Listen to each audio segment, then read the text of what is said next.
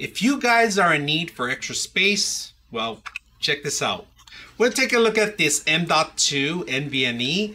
This is 500 gigs, but you could buy additional space in there. You could buy up to a two terabyte station, all right? They give you a little, a little uh, Phillips in here to actually remove the actual components and also additional screws for any kind of motherboard that you have. They do have NVMe external drives.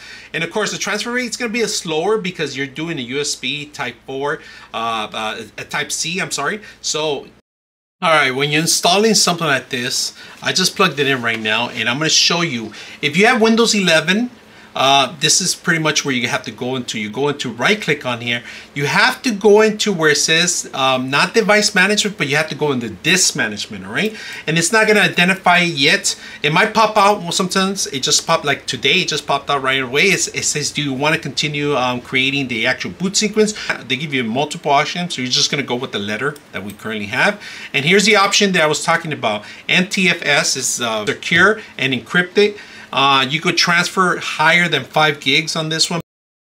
All right, we're gonna grab a couple gigs. Uh, it's transferring pretty quick right now because uh, like I said, it's a fourth gen. It's gonna jam in here. If you guys can see, it's gonna take up about to two minutes. So here we have a PlayStation 5. We're gonna go ahead and upgrade the drive, all right? Give, all right, we got it set up in here. My recommendation down the line, if it starts getting overheated, you wanna make sure maybe buy a thermal tape in here and add it in there. For, for now, we set it up. All right. So now that we got the M M.2 Gen 4 set up, it's going to ask us to do, we're going to say, we're going to format. So we're to move it down to format, and it's going to start formatting automatically the card, telling you that it's installed. And I'm to show you guys right now. A space storage, so we can add additional games if we want, or you want to save your process, you can save it through there. So hit OK, hit OK hit OK.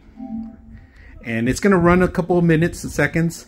And later down the line, you can make it your main drive, but because it's 500 gigs, I will keep it as a backup. All right, we're going to go storage to see the space, if you guys can see that.